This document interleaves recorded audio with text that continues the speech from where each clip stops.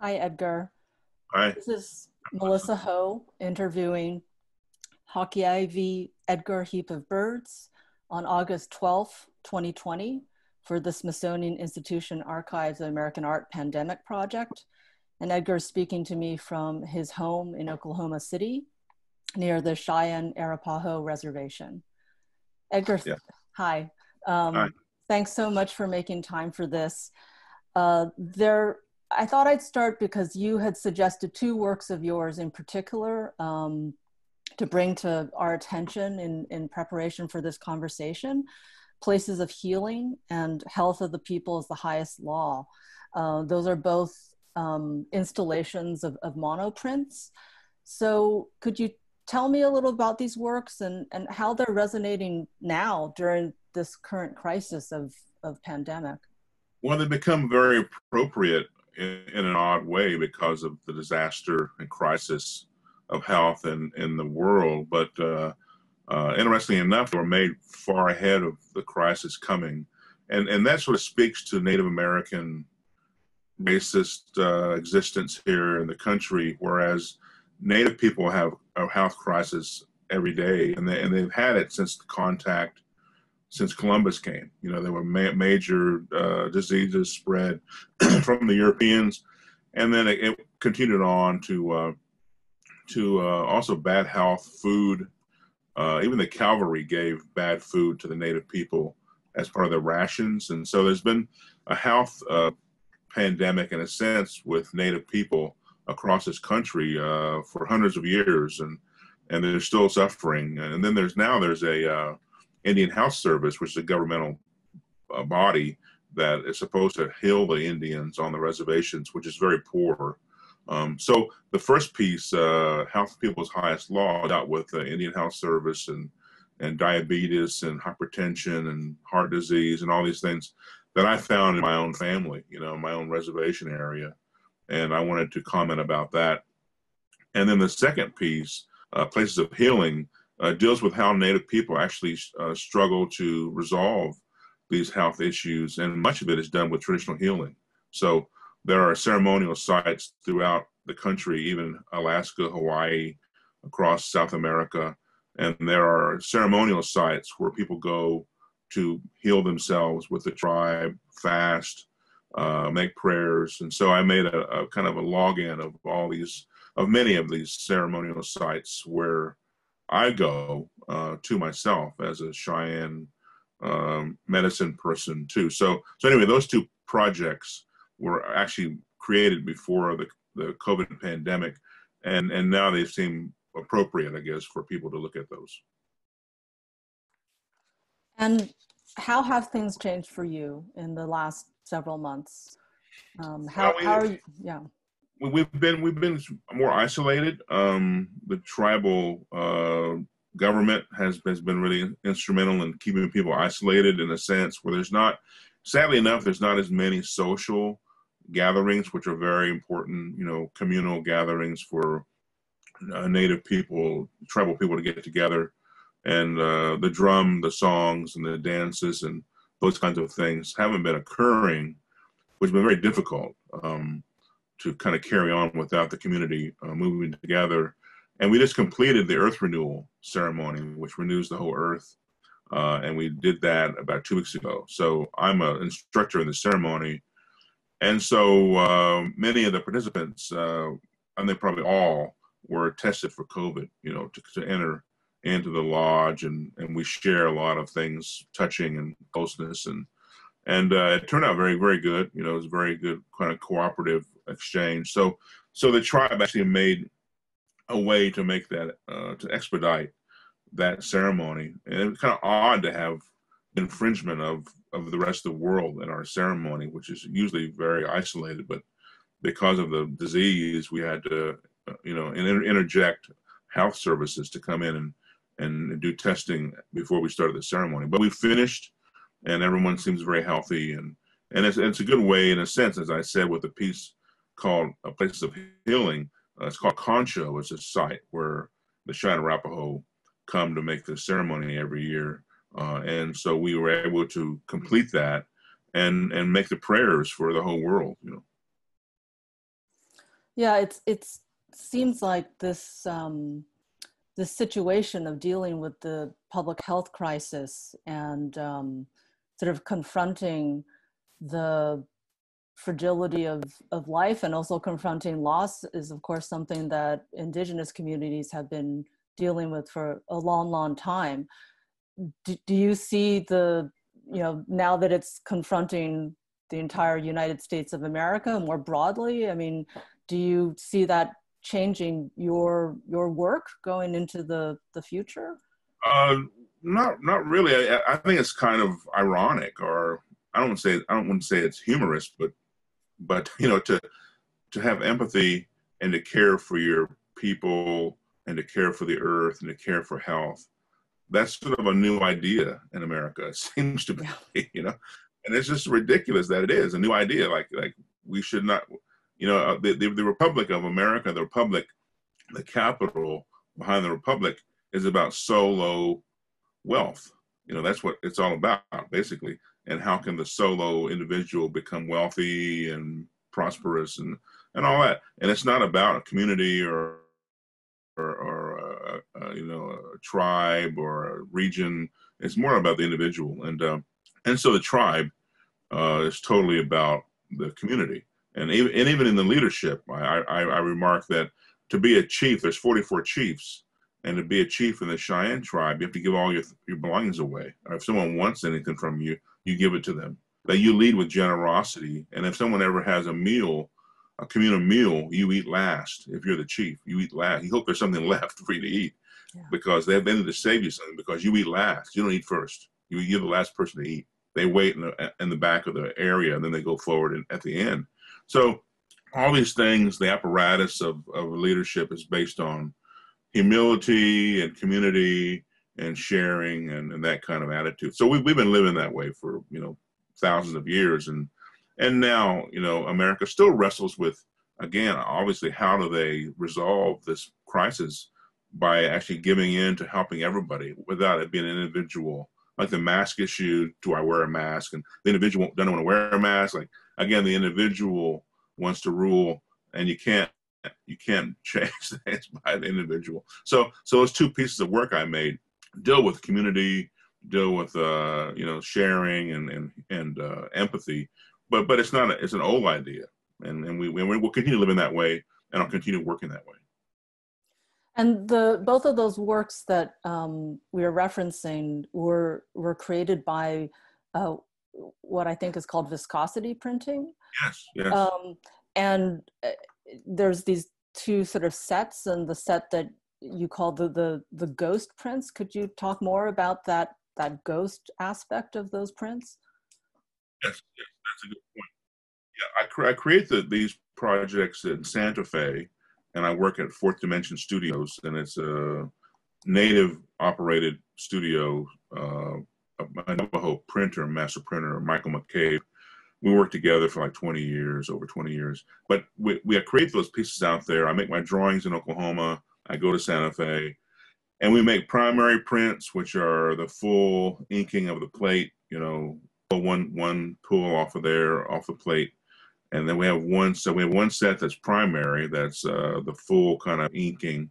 Then we have a second pull, which is called the first ghost, and that is a little fainter, a little a little lighter uh, and now we've been doing that on a different color paper to kind of change up the, the, the presentation of, of the, and their, and their words, their text, you know, pieces.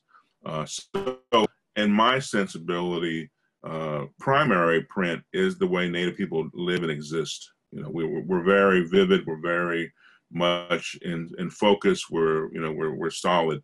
Uh, the, the ghost print is how America sees Native people. Faintly, a ghost image, just barely existing, you know, uh, lighter and in focus and so on. And so I always make two separate uh, panels that way. So one is one is the real one in a sense, and one's the the sort of the the, the remnant of, of what what exists. And so I, I challenge America to to not fixate on the ghost, but to fixate on the reality of Native America.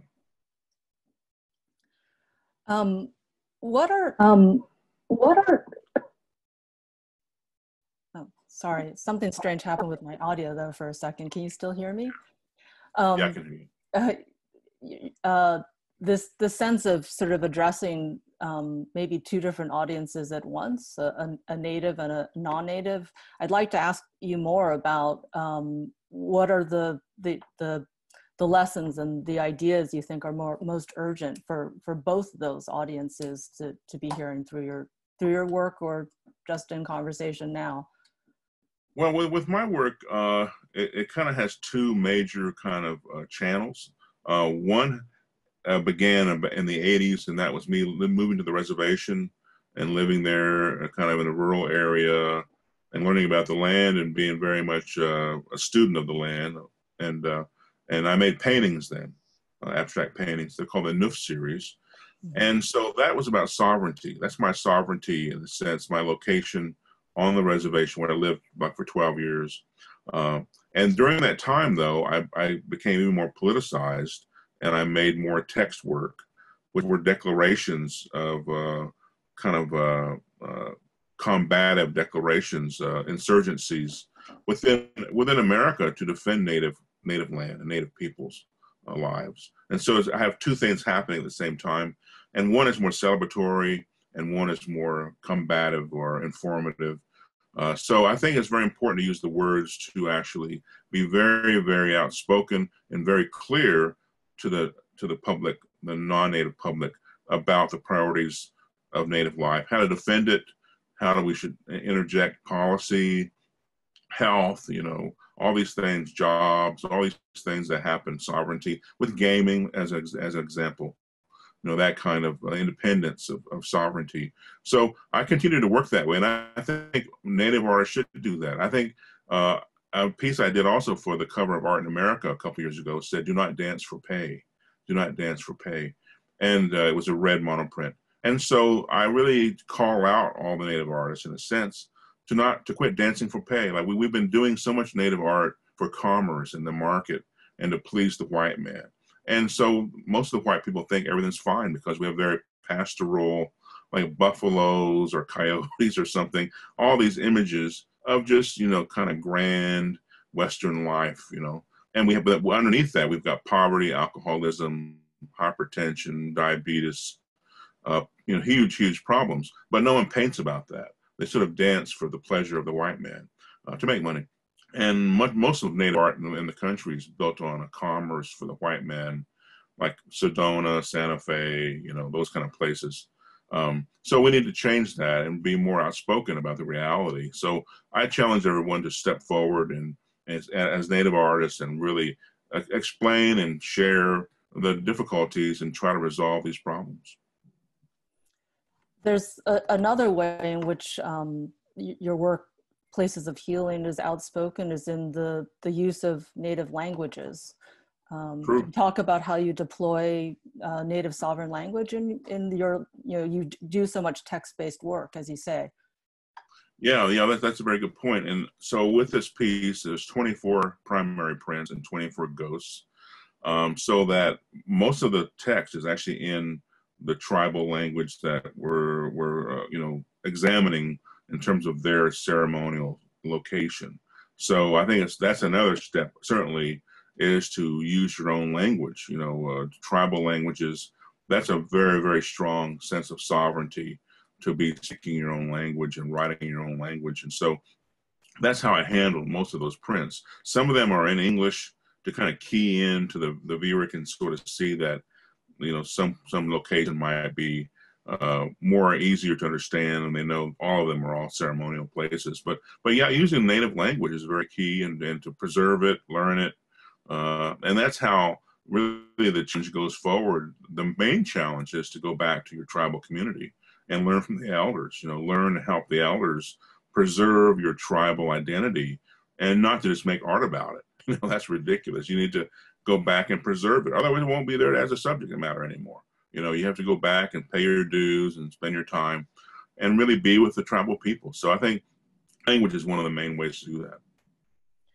I'd like to ask you a bit more about that process at this moment because as we opened our um, this interview, I mean, you were talking about some of the challenges during uh, the pandemic for people just to physically be together and to um, to uh, be functioning as a as a community. Can, you talk more about in in your community how? I mean, it's very interesting to hear about um, the way COVID testing was folded into sort of a, a ceremonial pro- process so that could happen. Is there is how how are the elders and how is the community at large sort of um, adapt adapting to the situation? Well, a good example is my my wife. Uh, I'm married to uh, Shanna Ketchum Heap of Birds, and she's Navajo uh, tribal member from Arizona. And so I, am familiar with the Navajo Nation. I, I travel there as well, and uh, in Arizona, northern Arizona, and there they actually were very had to be very very strict and actually closed down the reservation for travel uh, after certain hours and and, and uh, suspend certain store hours and, and uh, it, although it's very rural, uh, the people didn't get much news, television, and all these contemporary technologies, so they had to be alerted to the to the dangers. And so having the restrictions of uh, travel and the weekends were off limits for moving around for for their own probably their own ceremonial things and so forth.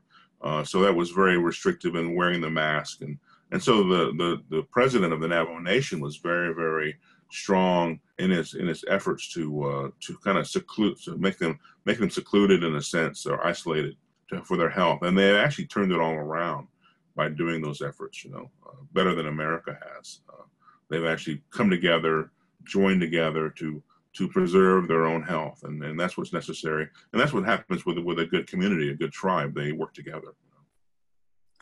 If I could, you know, turn my line of questioning to sort of you more um, personally how uh, how have you been caring for yourself and and your family um, uh, during these months? Well, we we've been uh, you know, of course, school was. I have a daughter who's 11, so we mm. the school was suspended back in the spring. Uh, travel is, is limited. I don't travel anymore. I used to fly probably twice a month. You know, I, I don't travel like that anymore. And we travel together as a family a lot as well. You know, um, and we don't we don't do that. We drive. I went I went and printed. I made a new piece in Santa Fe, but we drove.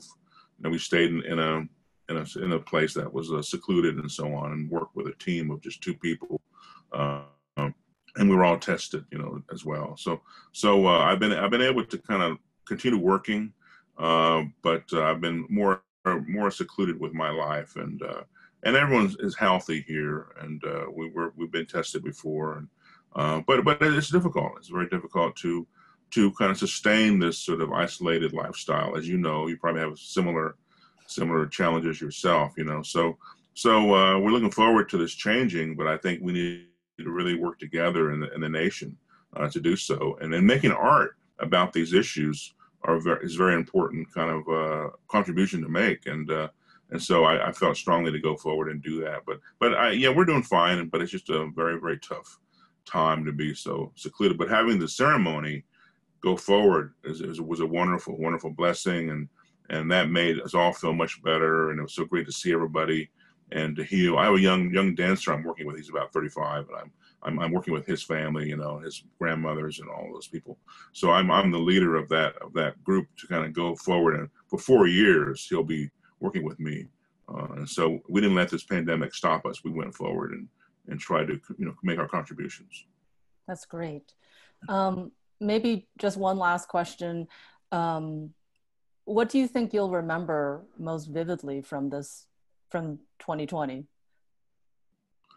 Um, well, probably just that kind of limitation of your movements and, and what matters, you know, your family, uh, the things in your community, and they, they become more acute, you know, as to what matters when they take away the other things. And so, certainly, your family is the key uh, part of your life, and and uh, to protect everybody, which is not too much far away from how we live anyway. But uh, but I think that's that's what I've learned about this. It's, it's what really matters, and it's not so much the big institutions and all these things. I'm very involved with all these museums and galleries and projects and so on. But and I still maintain, you know, my work. But uh, but I think the family and the land and the life uh, I've been riding my bike. I'm I'm I'm a gearhead guy, so I, I ride my my push bike, and so that's really helped me a lot to be out on this lake every day, riding the six miles and and coming back home. You know, so so just slowing down and maybe paying more attention to to what's going on with this planet. Thank you, Edgar. Um, can I just ask? This is a, not a significant question, really, but what what's a push bike? Is that a, a different oh, format of bike? Well, that's sort of British thing, but or people say bike and they think you they think you mean a motorcycle. you know, so oh. this is a, a, pedaling a pedaling a pedaling bike. bike. I don't ride a motorcycle around like for exercise. No.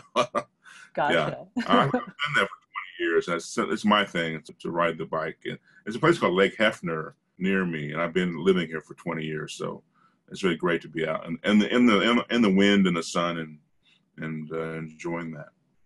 Yeah, being outdoors is a huge solve at this point. Um, yeah. Cities aren't good for that. so yeah, it's true. Yeah, yeah, it's true. Well, um, it's great to talk to you. Is there anything um, else that you'd like to to state for the record? Um, well, I wonder how you're doing with all this. How are you managing? Well, like you say, um, um, I I have a I have a child who's school age too, so I think um, you know I I'm seeing it a lot through his eyes, um, and I'm wondering how he's going to remember this time. Um, and there is this contraction into the the family home and spending time together. Um, at the same time, work has been very intense um, and feeling very, very tethered to my computer.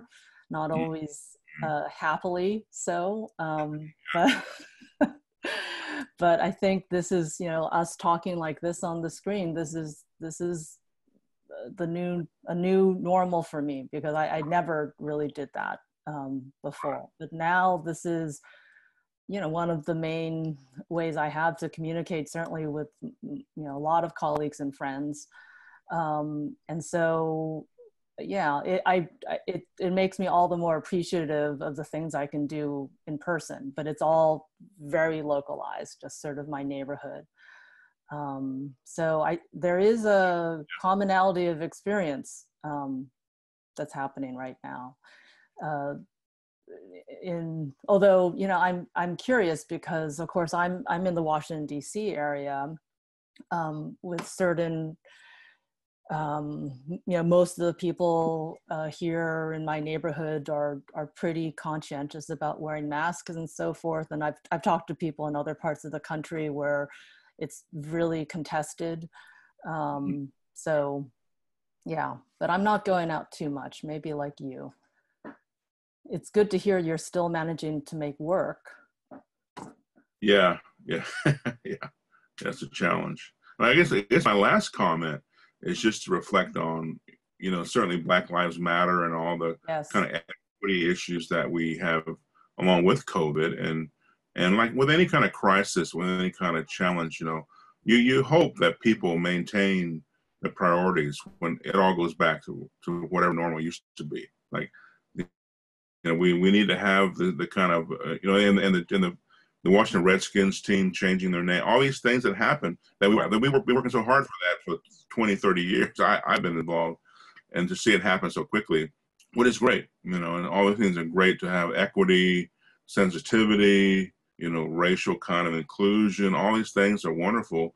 And we hope, uh, and, and the, and the, the, the vice president uh, candidate selected yesterday, tremendous, tremendous. I'm so excited about that. All that wonderful. And just let's just keep it all moving in that direction. Let's keep it to where we're all going to be fair and and and empathy is the word. I think that's we need to carry that forward. Agreed. Well thanks edgar. I'm going to stop recording. Thank you so much for making time for this. Sure great